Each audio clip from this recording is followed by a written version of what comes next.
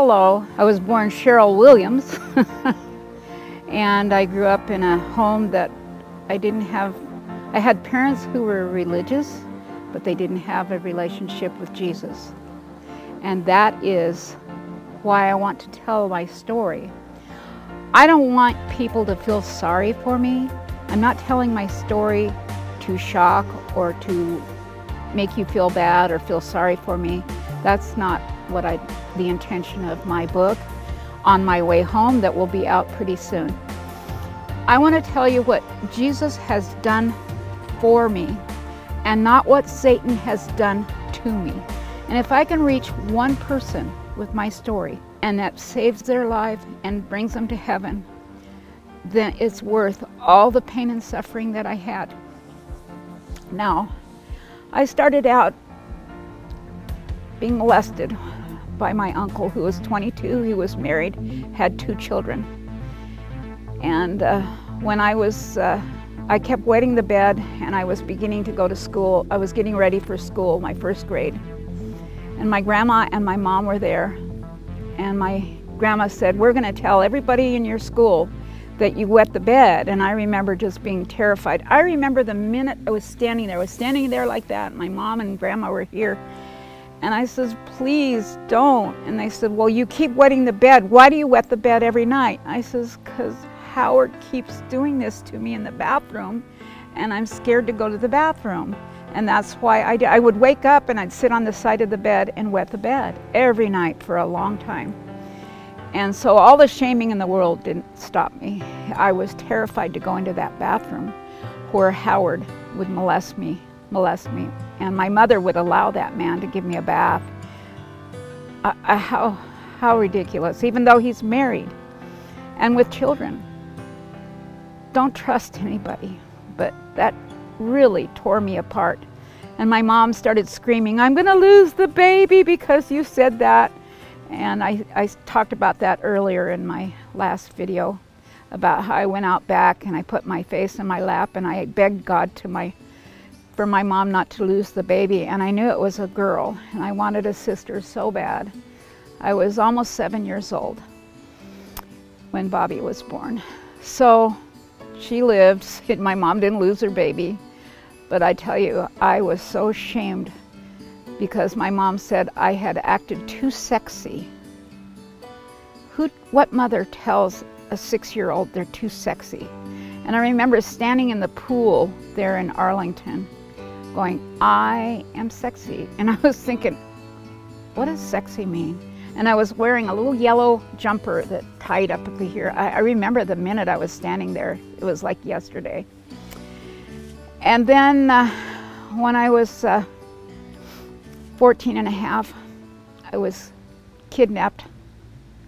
He told my parents I was going to babysit for his neighbor's family because their two children uh, needed a babysitter so they can go visit their dying son in Sacramento, which is 110 miles away from Grass Valley. But he had no intentions of taking me to watch the people. First, he stopped at the bowling alley and I think that's where he got the drug Rohypnol. That was real popular back in the early 60s. And then he put the drug inside a cherry cola and I drank it against my better judgment because I had signed a temperance card. And even now I feel guilty over that because I made a promise to God that I would not drink caffeine, take drugs, or have sex or do anything. It was the 1960s temperance cards that you sign, and I had uh, Elder Ted Venden, that's Morris Venden's father. And I'm quite proud to have been baptized by somebody like that. And uh, so I've always felt guilty, and my mom told me if I hadn't drank that cola, I, that I sinned, that he wouldn't have drugged me, therefore he wouldn't have raped me, but I think he would have killed me. He would have murdered me. So he kept me for two nights and he brought me home a very damaged soul. And I grappled with that for two weeks because my mom was gone. She uh, left, went back to Sacramento.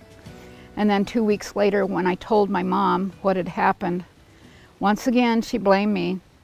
Our home was destroyed by the flood there in Loma Linda. My mom was at work there at the hospital.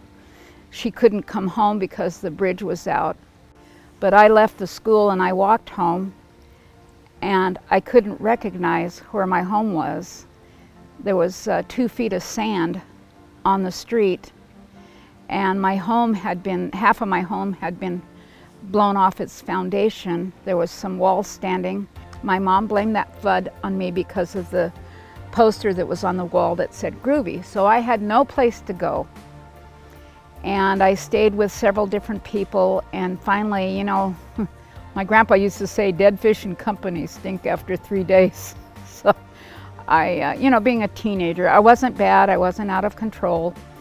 I had a heart for God.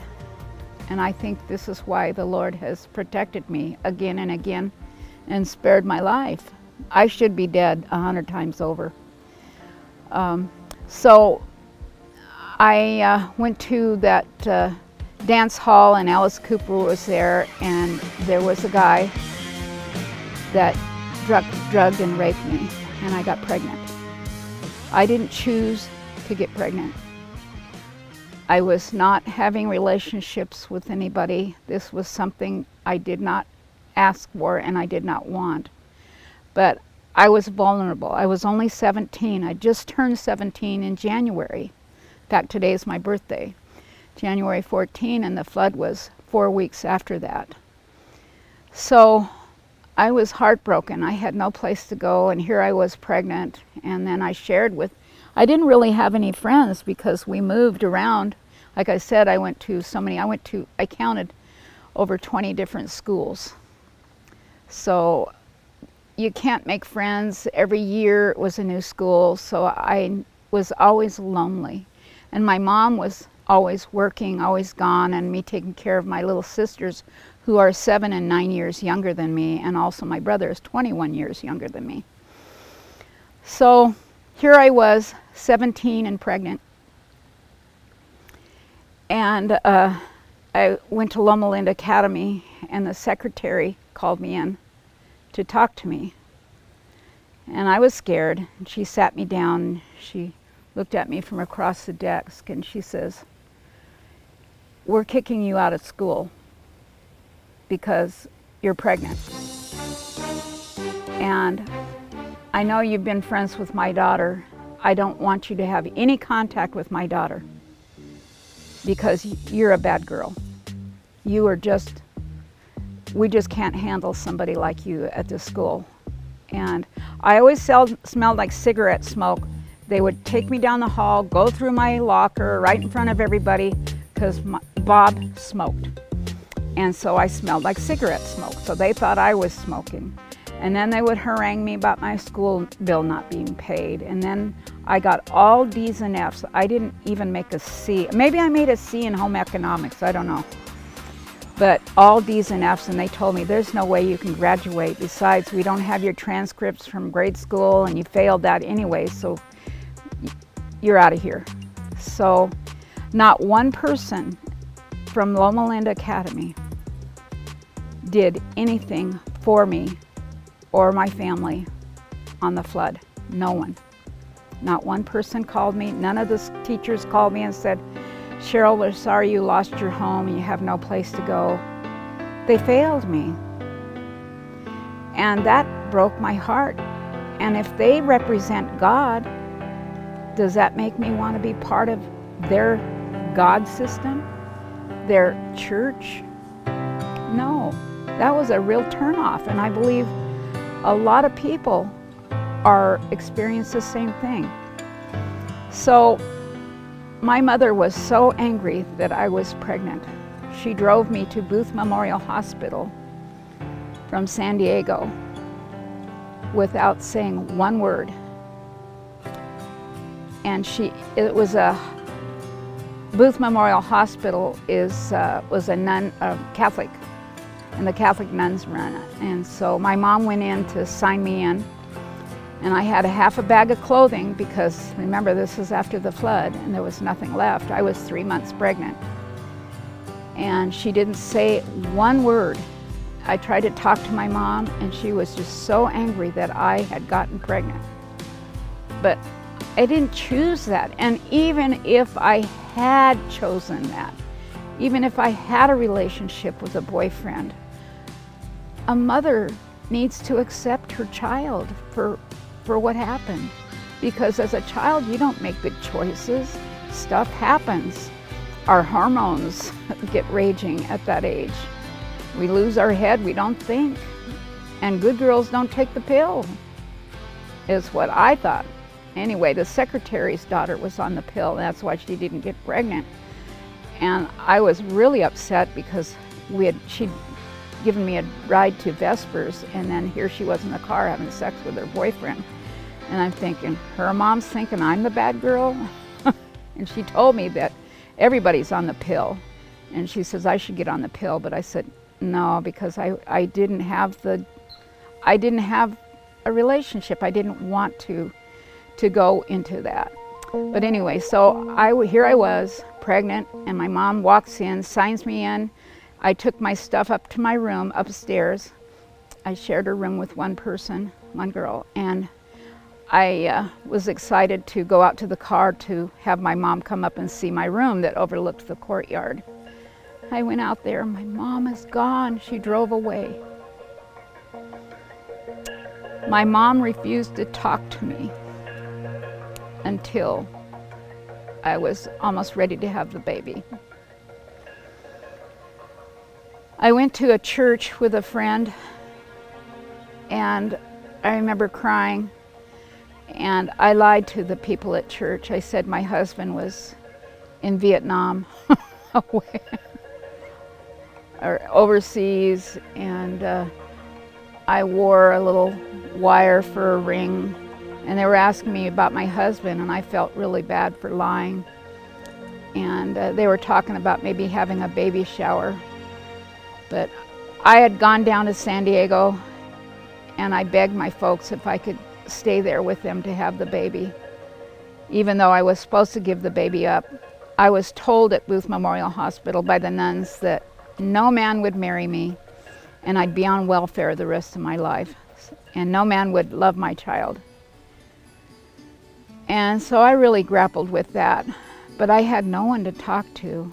Everybody rejected me because I was pregnant. They had no idea I was raped. I mean, how do you tell them I was raped? You know, you know, they just automatically assume that you have loose morals. I didn't get to graduate. I didn't get to go to college then like everybody else did. I was three months pregnant, just, just had turned three months pregnant. And I was sitting in a kitchen in, in Redlands. I was sitting in a chair in the sun was coming through and I felt a little flutter. And I told my friend, oh my goodness, I felt my baby move. She says, nah, you can't feel it at three months. I said, yes, I felt it move, it twittered. I didn't have a baby shower. My mother never gave me one single thing for my baby. I had no baby shower, and she, it was just shame. And the things my mom called me, I can't say on camera, it's pretty bad.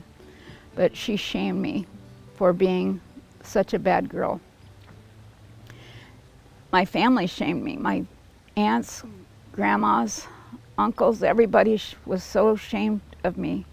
I didn't have a church system. I didn't have any pastor that would call me and tell me they're sorry. I didn't have. Uh, here is Loma Linda, the mecca of Adventism, the university hospital, the college, the academy. All these people, the Hill Church, the university church, not one person bothered to offer their help, except for the Schaefer's. Uh, Linda Schaefer's parents, uh, they, they offered me some help. They were good people, true Christians, and I went to church with them in Redlands a few times.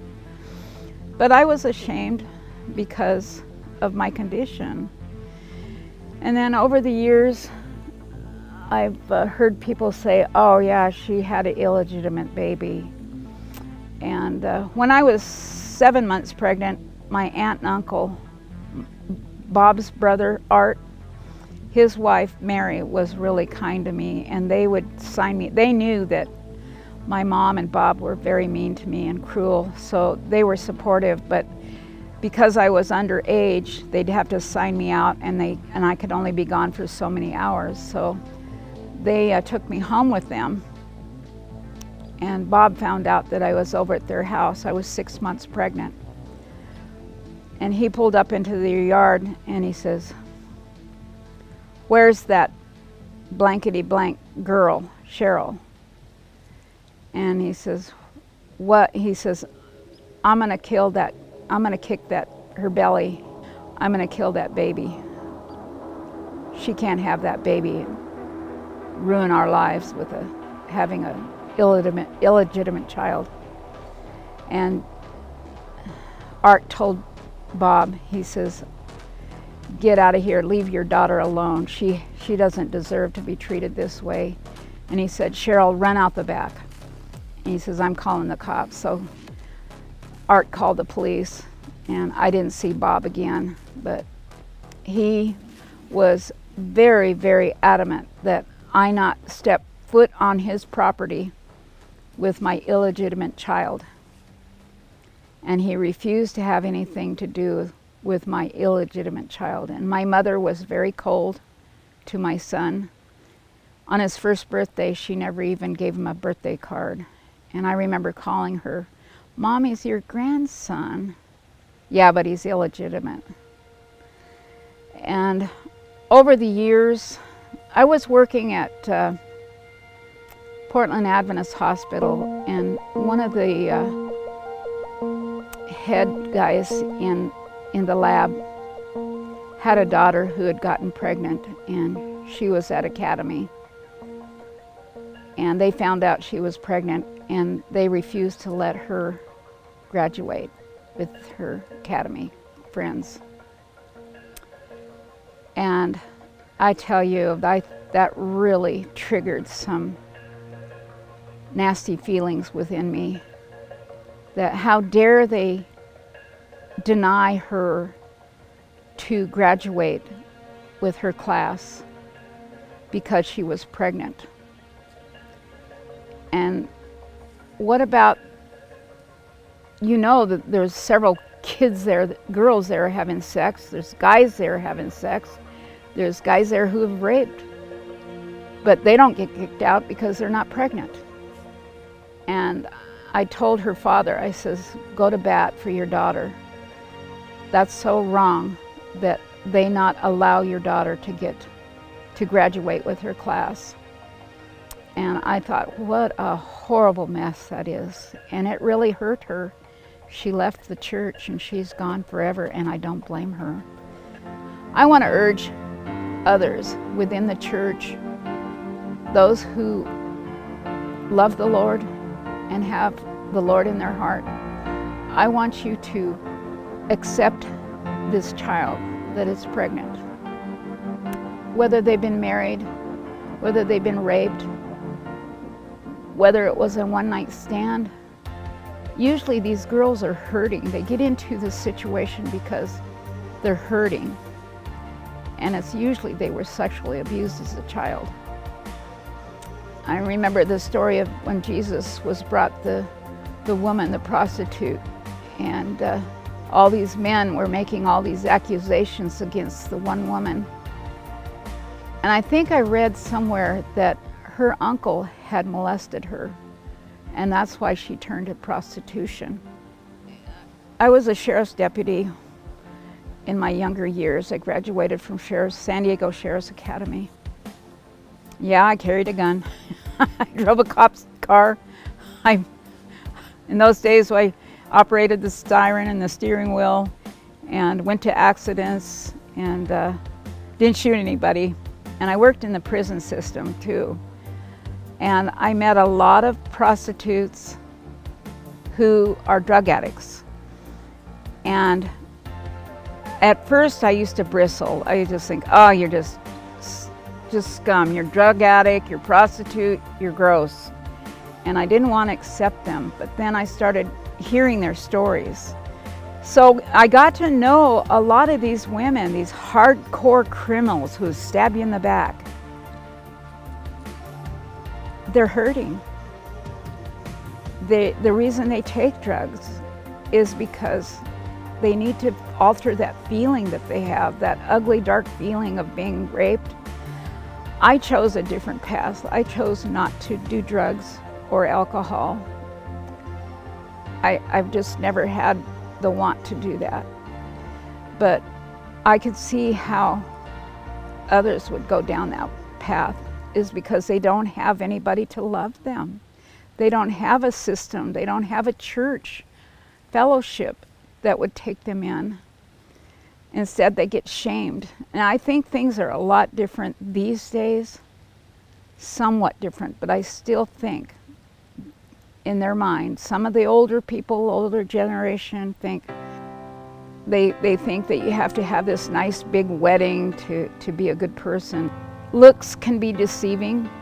You don't know what's under a person's, what, what's been their past, what's happened to them. Don't judge. Don't judge them for having an illegitimate child. The hardest part for me that I grappled with is I was being pressured to give my child up. And for me, abortion wasn't an option. And I know today it's easy to get. And I know several who have, and they're just torn. Their lives are just torn. They grapple with that years later. So I didn't want to give my baby away, and they were pressuring me and pressuring me, the nuns there at Lewis Memorial Hospital. But I refused to give my baby up, and I had a dream that my baby was a boy and that God told me to call him Timothy. And I don't know how uh, how true that dream really was. I mean, it was. It, it, to me, it was real. I don't know if it was just a simple dream, but it, I did have a boy. And I decided to keep him and name him Timothy. But my pregnancy went easy until I went into labor. And the doctor that I had was very judgmental and critical towards girls that were unwed. And he made their delivery the most difficult delivery they could ever have. I was given an accidental overdose of Pitocin, so my contractions were just strong and I was screaming out of control. And my mother was head of OB there at the hospital, Grossmont Hospital in San Diego County. And she told me, You're just embarrassing me. And she slapped my face. She stopped screaming. And the pain was just horrendous. And it started Friday night. All the way to Saturday afternoon, I was just having contraction after contraction. And I says, I'm done with this. I'm leaving. And I tried to get out of bed, but I couldn't. they tied me. They tied me to the down to the in the bed, and they said, "You're out of control." But I didn't know how painful it was. I was unprepared. I didn't have any Lamaze classes. I didn't know how to breathe. And then my son was born at 5:01 Saturday afternoon, and I had a very traumatic birth, and that's what's caused my infertility. Is I got a bad infection afterwards, and I was not giving anything for pain. I did it all natural and I was exhausted because I'd been up all night. And they took my baby away and they put him in the nursery. And I said, I want to see my baby. And they said, well, we'll bring it to you. And then I, I kept crying, I want to see my baby. I, I didn't hold him. The minute he came out, they whisked him away because they thought that I would give him away. And I I, be- I didn't want to give my baby away. Oh, the, in my dream, God told me to keep my son, and He said, You will never have another baby. And that came true. But like I said, I don't put too much weight on dreams. Um, but that one did come true. And 24 hours later, I still hadn't seen my son. And I begged and begged and begged. And they said, well, he's yellow, his bilirubin, he needs to be under the bilirubin lights. And we can't take him out. And I said, I want to see my baby. I wanted to, I wanted to hold my baby. I wanted to bond with him, and they wouldn't allow me to. Finally, I think, I don't know how many days, it was like two days, they finally brought Tim to me. He was all bundled up. They told me to take a shower and get all cleaned up before they would bring him in. So they brought my baby in, and I wanted to see what he looked like. So I started unwrapping him. And the nurse, her name was Mary Parton, she came in, she says, What are you doing? I says, I want to see my baby. Put his diaper back on. Are you perverted? I said, Oh, this is my baby. No, no, no, we got to take him back. So she took my baby away. And uh, I didn't see him for another 24 hours. I was there for five days and I only saw him once or twice. But they thought, and the, then the pediatrician came and he says, uh, You got a precious little tiger there and I'd like to adopt him. I'll give him a good home. Let me adopt your child. You can't do anything for your baby. And I said, No, I want to keep him. And he started putting pressure on me that I was too young. I could go find another family. I could get married and go to college, get married, and meet, you know, meet a nice man and live happily ever after and have more babies. But I had that dream, so I didn't want to give my child away. I wanted to bond with my baby. I loved my child so much. I remember one thing I wanted to do is I wanted to hold my baby against me, my heart, and bond with him and I wanted to breastfeed him. And my mom came in, she says, You're not going to do that. You're going to be out on a date, and your baby's going to be hungry, and your milk's going to come through. What are you thinking about? That's just gross. Cheryl, you're not to you're not to breastfeed that baby. But I wanted to hold my baby against me. And I think of Jesus when he holds us. I know Jesus doesn't breastfeed us, but I liken that feeling to that's how Jesus holds me close when I'm hurting. I know it sounds silly and it sounds kind of dramatic, but that is one thing I never got to do. That's a deep pain. And when I think of God loving me, I think of God loving me like I loved my baby and would hold my baby. So that's the way Jesus loves us.